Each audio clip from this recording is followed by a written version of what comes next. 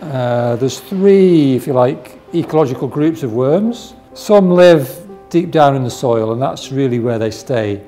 They burrow horizontally mainly and uh, feed, on the, feed on the soil, taking their nutrients from inside the soil. Some others live nearer the surface of the soil, kind of going around the plant roots. Certainly if, if you've got a grass uh, in your garden, the, the base of the plant, that's where they'll be active.